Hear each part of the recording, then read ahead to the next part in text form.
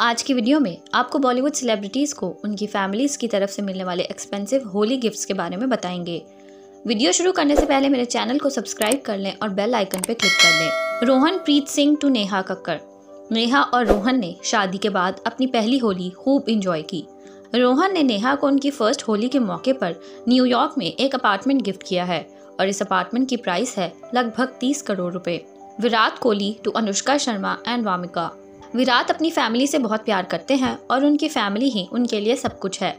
Recently हमने कुछ दिन पहले विराट को डैडी ड्यूटीज़ देते हुए देखा था।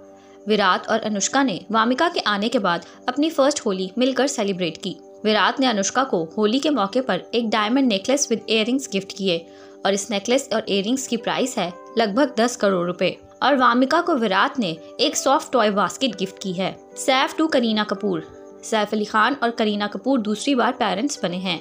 सैफ और करीना ने अपने दोनों बेटों के साथ होली खूब इंजॉय की।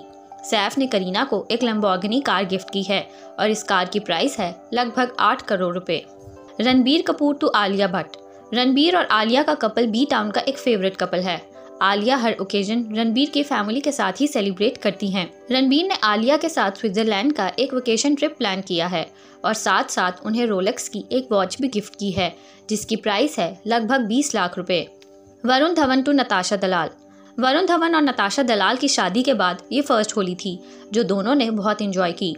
वरुण ने नताशा को होली के मौके पर मुंबई में एक अपार्टमेंट गिफ्ट किया है और इस अपार्टमेंट की प्राइस है लगभग 12 करोड़ रुपए। शाहरुख खान टू गौरी खान। शाहरुख खान हर ओकेजन बहुत ही भरपूर अंदाज से सेलिब्रेट करते हैं।